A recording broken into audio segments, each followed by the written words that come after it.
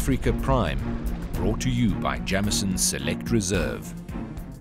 At the end of 2008, the world was plunged into economic turmoil. The global downturn wreaked havoc on financial markets, including those in Africa. However, markets have since started to stabilize, and according to the recent African Economic Outlook report, African economies have rebounded from the slump as well.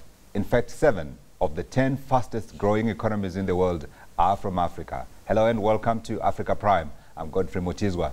This week, the second of this edition of Africa Prime, we take a closer look at the post-2008 economic world order in Africa. And joining me in studio to give us their views are Simon Freemantle. He is Senior Analyst, Africa Political Economy Unit at Standard Bank Group. And uh, Martyn Davies is CEO, Frontier Advisory. And E. Daniel Kinnear, Senior Executive Associate, Africa Strategy Group. Gentlemen, welcome. When history is written, when people talk about the 2008 economic crisis, many people make reference to the crash on Wall Street and London, but little forgotten is that there was a crash of a different sort, the crash in Zimbabwe. Zimbabwean inflation reached 89.7 sextillion percent, according to uh, Steve Hanke, and he is a professor of applied economics at Johns Hopkins University. I begin with Zimbabwe because it illustrates the severity of the 2008 crisis. Let's begin first by with you, E. Daniel, but I'll refer to you as Daniel as we go along. Daniel, let me begin with you. 2008, we had this massive crash, and we saw, as I said, Zimbabwe was one of the worst hit. Can you paint a picture for us, just in terms of the impact that this had on African economies as a whole? Yeah, I think, but let's address the issue of Zimbabwe. I think the, the quantum that uh, you've just quoted uh, is less a result of the global economic crisis, uh, which was a consequence of the financial crisis. Uh, it was more a consequence of uh, an amalgam of issues uh, and also the political risk and credit rating st status of Zimbabwe at sure. that stage. But I think the continent overall was on a, an upswing on growth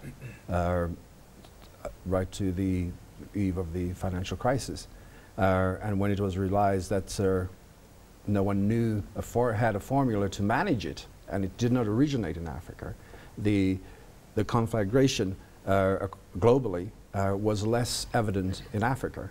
And uh, I think Africa, it, it, it it's because, maybe because Africa was less exposed to the international financial markets in the sense of loans and lending. Those multilateral institutions or African companies and governments who are investing in Africa. Right. So there was no umbilical that, that would bring the shock into the Africa space.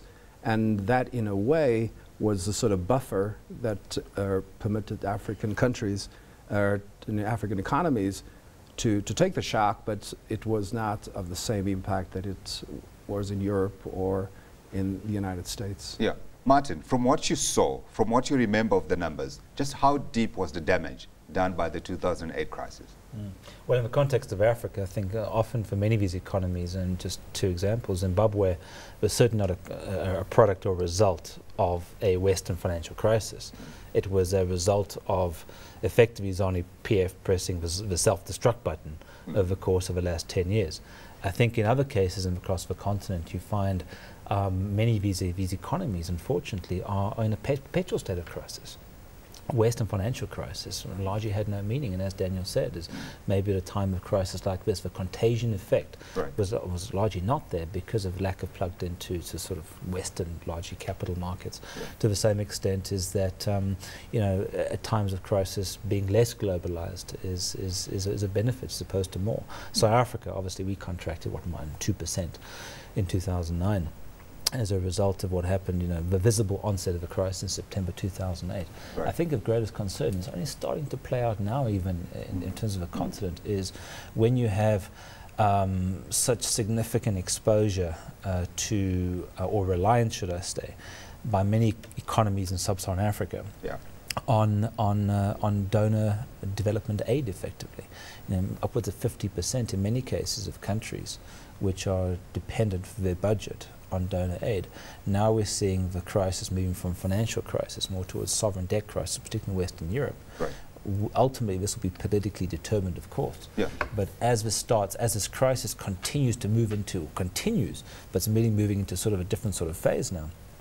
Are, is there exposure for the continent, not through financial services sector, as Daniel alluded to, but perhaps more so around the potential cutbacks in foreign aid to our continent, Right. where many of these countries are so dependent? I think that's a key risk going forward. Yeah, so we're going to examine this crisis. If I can come to you, Simon, now, the message that I'm getting from the two gentlemen is that the impact was not as direct as it was in the other developed economies, largely because, of course, we know uh, the, the, the structure of Africa's economy. But you guys at Standard Bank, you would have seen some of the numbers, some of the more immediate effects through currencies like the Rand, through currencies like the Zambian, Zambian Kwacha.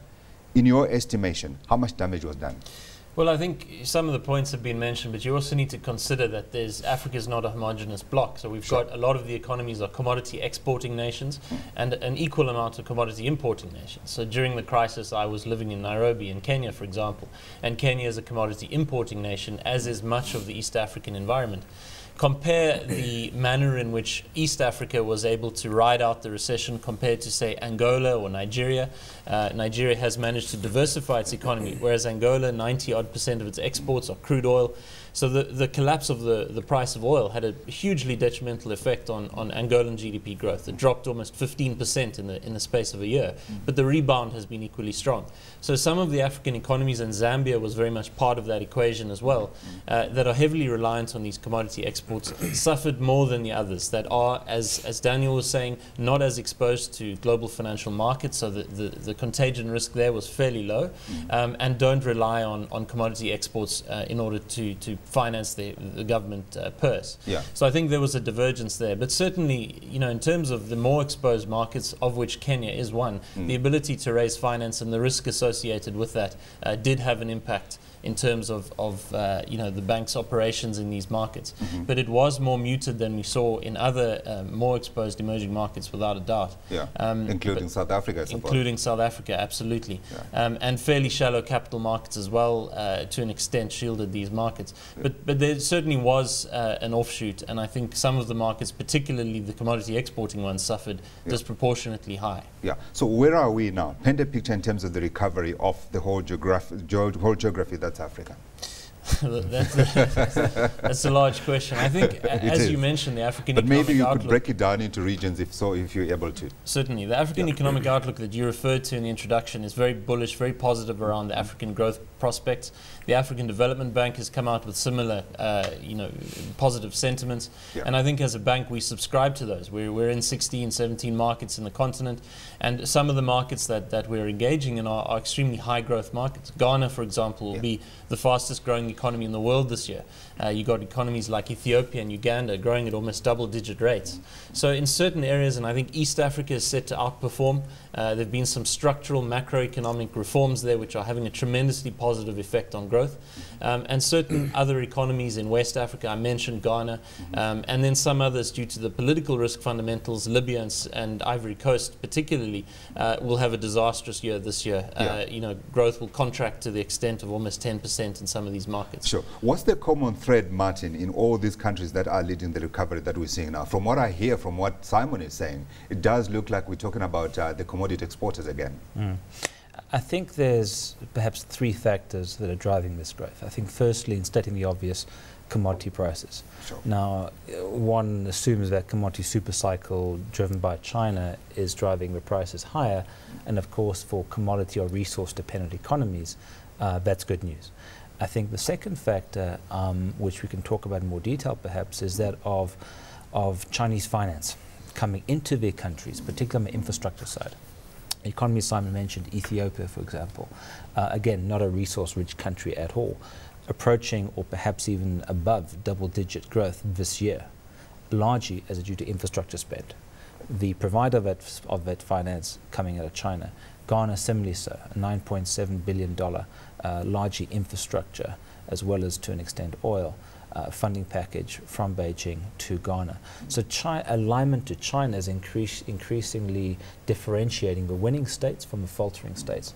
I think the third factor, particularly in the context of Ethiopia and Ghana, again, maybe more so Ghana, is, is, is good public sector management. Uh, at least uh, um, a focus, a focus on growth, uh, a focus on sort of you know what, what, what the economic priorities of the country are and relatively well managed. Yeah. Uh, I think those are the three for me, the key, the three key differentiators going forward. Yeah, Daniel?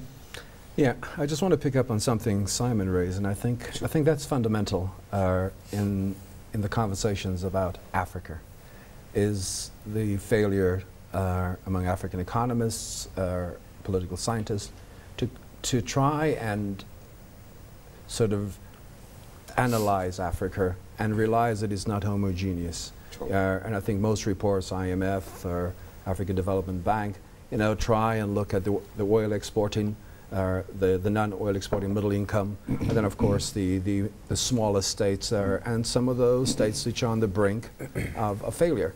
Um, and of the 44, 45 now with the Republic of uh, Southern Sudan, Right. There, there is such a, a difference, uh, literacy among other issues.